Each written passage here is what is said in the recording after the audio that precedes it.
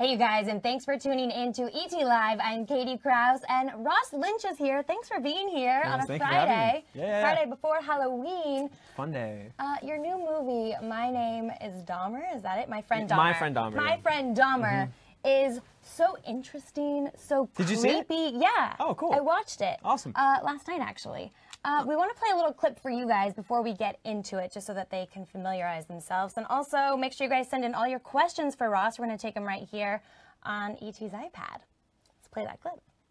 Out of the way, Dahmer. Dumbass. I wish I had a best friend. Jeff's a little off, you know? I think he's kind of hilarious. I like bones. It interests me what's inside. God, Dahmer, you are such a freak! It's intense. I mean, you're playing the high school version of one of the most infamous serial killers ever to live. Pretty so, kind of walk me through the journey that we're gonna see in this movie that people are gonna see. Essentially, My Friend Dahmer is based off a graphic novel of uh, from Derf Backderf, who was actually went to high school with Jeffrey Dahmer. Right. And it was sort of his experience with Jeffrey Dahmer. Um, but actually, at the time of going to high school with Dahmer, he didn't actually obviously think that he was going to become a serial killer. Yeah. So, um, so it's it's uh, it's an interesting it's an inter- interesting Yeah. story. Yeah. It's kind of the making, though, of him turning into a serial killer and all the signs that you see and his obsession with bones and, Mm-hmm. and death. It's a very dark role, and it's very different from, from what we've seen you as. Was that kind of the goal in taking on this project? It was definitely. Yeah. Yeah. I mean, oh, it wasn't. It wasn't like the main goal. Mhm. But it was a reason for sure. Yeah. It was. It was along with the script and, and the team who was already on it. The fact that it was a book was all, obviously very interesting to me. Um, the content matter was very interesting to me. The fact that it was a serial killer.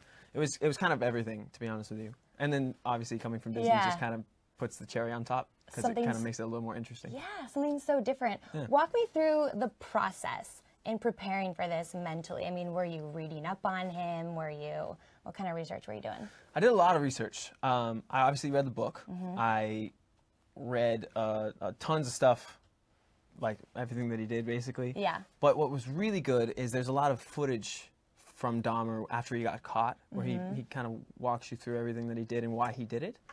Um, and that's really where I did most of my research, just because I like to watch him and Mm-hmm. kind of see how he was and how he moved and, and certain things like that. So that was the best content that, Yeah. I, that I got to see. That, that was the best research. But the one of the interesting things about this movie is I never had uh, I didn't have any downtime before this movie was shot. I was I was pretty much working consistently up to, so like the entire time. And, and the work that I was doing before was a chorus line, Mm-hmm. which is you know it's, it's not Jeffrey Dahmer. It's completely opposite, Yeah. actually. Yeah. And I- and I was also doing a comedy film. So uh, the whole time I'm doing these other projects, I'm like researching serial killers. Jeez, was that hard Yeah. to kind of switch your brain between the two, like the comedy and the lightheartedness, then getting into the mindset of playing a serial killer? Um, not necessarily. No, Okay. because once you're once honestly once you're in the atmosphere, Yeah. you've got the clothes on, I've got the glasses on, I've done the research, I'm in that world, Mm-hmm. and I'm in that moment. Then it's uh, you just gotta kind of be there. Yeah. You Did know? you have to do anything physically to prepare for this? Like working out. Yeah. No. There's some shirtless scenes in Yeah. there. Well, the the shirtless scenes are because um, the significance of that in the film is Mm-hmm. Dahmer killed his first victim with those dumbbells that his father gave him. So there's certain things planted throughout the film that have significance towards Yeah. what he'll later do. What surprised you the most when you were preparing and researching and learning about this guy? Uh, there's a, there's honestly a lot. Yeah. Um, one of the things that surprised me most was uh, how charismatic he was. Um, he that's really how he got most of his victims. Is is he was actually like a charming dude. He would go to these bars and, he, and he'd pick them up and then just bring them home. Um, which was he, he was gay, so it was, it was all men. Um, and he actually using that charisma got out of a lot of shifty situations where one time he was like drinking and driving with a body in the trunk and a cop pulled him over and he talked himself out of it And that's that's insane Yeah, though. yeah. Even even in any scenario, that's insane to Yeah. just talk yourself out of drinking and driving. But there was a body in the Right, car. a dead body And literally cop- in your car. Yeah, and the cop made a reference. He was like, "What's that smell?" And and Dahmer was just like, "Oh, I'm taking the trash out." Wow. Yeah. So then So it's he's he's interesting. It's very fascinating stuff. Yeah. What um what was the most challenging part? I imagine that it must have taken some sort of toll on you and Yeah. your brain and I don't know. Ch- The most challenging part, I think, just kind of like. Maybe the most challenging part was uh, not second guessing my my decisions, um, and just kind of like being, you know, being like, because because uh, I've never done something like this before. This was my first time, like, obviously playing a serial killer, and there's definitely, um, you know, I wanted to do good. Yeah. So uh, so that was that definitely played a part, but um, yeah, yeah, it was honestly I, I just went day by day, just trying to do my best. We're gonna take some fan questions, and I want to get back to the movie. These actually might be movie related, but look how many are coming in. Um, Sarah says, "What is your favorite part that you shot for my friend Dahmer?" Um, there's there's a few parts. One of them is uh, Dahmer has a scene where he's convincing a girl to go to prom with him, and that's when you get to see the charismatic Dahmer.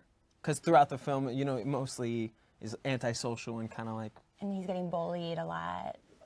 kind of Yeah. not not a ton honestly dahmer wasn't really he wasn't really picked on all that much because he was a big strong guy Yeah. he was you know he was built like a linebacker so not really m- many people messed with him not that much he was. Yeah. teased Yeah. but not that much um, but I, I really like that scene because I, I got to show like the charismatic dahmer Yeah. um, and then another scene towards the end of the film where it's Dahmer and Derf. I don't want to give too much away, but it's uh, it's a very important scene for the film, Mm-hmm. and uh, I thought it was I thought it was it was some of the best acting in the film. I think Yeah. Okay. for, for me and Alex, who plays Derf. Um, Amber says, "Oh wow, this is most definitely the right move for you. This movie is gonna be great." Thanks, Amber. Sophia says, "Did I you get so, this? I, it is. It's great." Um, Sophia says, "Did you get this role offered to you, or did you audition? I auditioned. I did. What was the audition process like?" It was so originally I got the script, Uh-huh. and I actually met with our director Marc Meyers before I even read the script. I, I Oh. Uh-huh. should honestly I should have read it, but I, there was a lot of stuff going on. I was on tour at the time, Okay. so I was in New York and I met with him and, and we got on great. Yeah. So it was it was it was good. And then I, so I read the script. I was back on tour, and I did self tape. And uh, our on tour photographer, when I was done with the self tape, he was like, "Dude, you're gonna get this role." So and he it- taped it though for you. yeah, yeah, yeah. Or sorry, sorry, our um our on tour photographer. Yeah, Did I yeah, say that? yeah, yeah. That's what I meant. I was like, "You're Yeah. on. You're yeah." Yeah, yeah. So he was helping me film it. Um, it's actually a really good friend of mine as well, uh, who's releasing a book soon. Ah. Um, and then I was back in New York, and Marc Meyers and I had like a three-hour work session together, where we just ran a bunch of scenes, and it went really well. Anything that you were hesitant to do or take on with this role? Like, were you, you know, playing a serial killer? Like, is this the right move for me?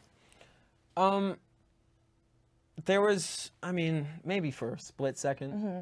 but it really wasn't. There wasn't ever a time where I was like, oh, I don't want to do it. You know what I mean? Once I was, once it was available to me, I was ready to go deep into it. You know, at Yeah. first.